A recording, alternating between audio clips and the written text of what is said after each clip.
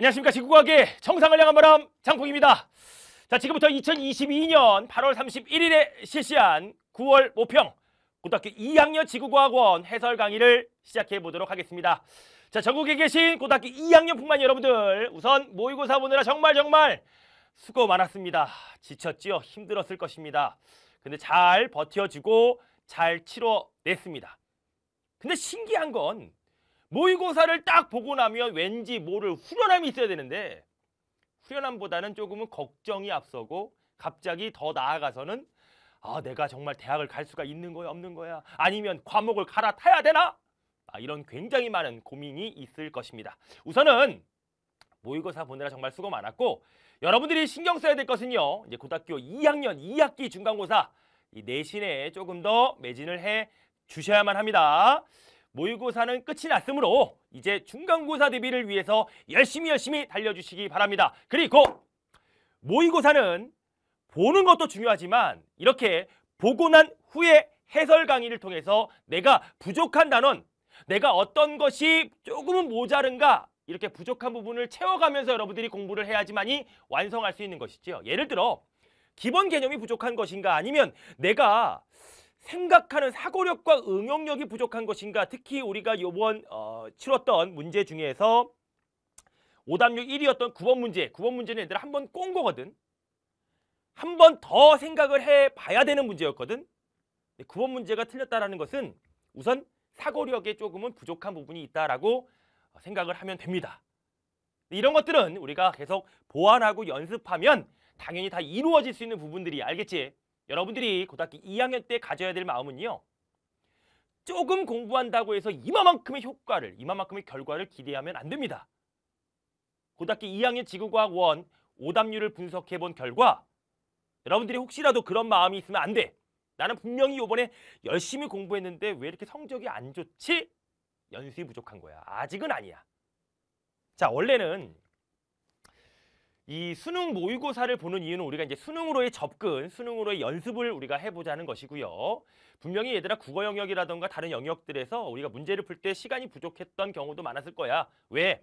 연습이 부족하니까. 아직 수능이라고 하는 연습이 부족하니까. 그럴 수 있습니다. 또한 문제를 풀어보면서 얘들아 어, 조금은 뒤로 가면 갈수록 조금 집중력이 흐려진다거나 좀 멘탈이 조금 무너진다거나 하는 그러한 경험들, 이러한 경험들을 토, 어, 토대로 우리가 이제 내년에 고3 때 정말 제대로 된 어, 수능을 대비해야만 하는 것이지요.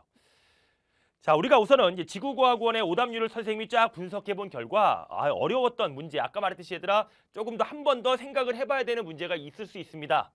아직까지 그것에 대한 연습이 부족했던 것과 또한 한번 눌러주세요. 기본 개념이 어, 확실치 않았다라는 것도 우리 가 확인할 수 있습니다. 기본 개념이 조금 부족하지 않았느냐. 너희들 여기 9월 모평에 관한 문제들을 풀어보고 등급을 보면서 얘들아 1등급 컷이 39점이에요. 굉장히 기본 개념이 부족합니다. 39점 얘들아 말이 안 되는 거야. 왜? 기본 개념이 정말 여러분들이 단단하지 않구나. 사실 뭐 전에 있었던 우리가 1학기 때 배웠던 내용들을 지금 생각할 수가 있을까? 뭐 이런 것들의 토대로 어, 좀 등급 컷이 굉장히 좀 낮았습니다. 하지만 어, 뭐 다른 과목으로의 어떤 갈아탄다거나 그런 거는 아직 하지 말고 좀 쭉 진득하게 한번 과목을 선택했으니 한번 밀고 나가는 것도 중요합니다. 자, 이제 1번부터 문제를 풀어보는데요. 어, 원래는 이게 지구과학 수능은 얘들아 그 출제자와 그리고 너희들 수험생 간에 밀당이 있는 시험이에요. 그러니까 어려운 문제가 나오고 그 다음 문제 또 어렵고 이런 어떤 밀당이 있어야 되는데 그리고 뒤로 가면 갈수록 사실 문제를 포기하게 만들게 하거든. 즉 뒤로 가면 갈수록 맨 뒷장이 어려워야 되거든. 근데 이 9월 모평은 뒤로 가면 갈수록 뭐 어렵지는 않았고요. 중간에 오답률이 높았던 문제들이 많습니다. 그러니까 너희들이 한 문제 한 문제 풀어가는 데 있어서 굉장히 멘탈 관리가 중요했던 그러한 시험이었어요. 왜? 앞에 있는 문제가 당연히 신경 쓰이지. 앞에 있는 문제가 신경 쓰이는데 뒤로 가면 갈수록 계속 앞에 있는 문제가 걸리니까 더 자신감이 떨어지게 되고 불안해지고 부담감을 갖게 되고 그러면서 또 실수를 유발할 수도 있고 자, 우리 한번 문제를 분석해 보면서 우리 부모님들 부족한 부분을 한번 찾아보도록 하겠습니다. 자, 1번 문제 갑니다. 1번 문제는 그렇게 뭐 어렵지 않았어요. 그죠? 어, 정답률이 86% 문제입니다. 자, 연약권, 연약권은요. 이렇게 암석권은 우리가 다른 말로 뭐라고 그럴게? 판이라고 하죠. 판. 판. 그렇죠. 판. 그래서 연약권이 있었습니다. 자, 연약권은요. 유동성이 있다. 그렇죠. 연약권은 유동성이 있습니다. 멘틀의 대류가 활발한 곳이었고 암석권은 지각을 포함한다. 그렇습니다. 암석권 판이라고 하는 것은 지각뿐만 아니라 어, 멘틀의 상부 멘틀 상부를 포함한다라고 했었죠. 다음 지각의 평균 두께는 지각입니다. 대륙 지각이 해양 지각보다 두껍다. 대륙 지각은 약 평균 35km. 얘는 얘들아 평균 5km가 됩니다. 그래서 밀도가 해양 지각이 더 크다라는 것. 그래서 대륙 지각은 화강암질 암석, 해양 지각은 현무암질 암석이라고 하여 우리가 어떻게 암기했습니까? 암기법 무시하면 안 돼. 대화해연, 대화해연.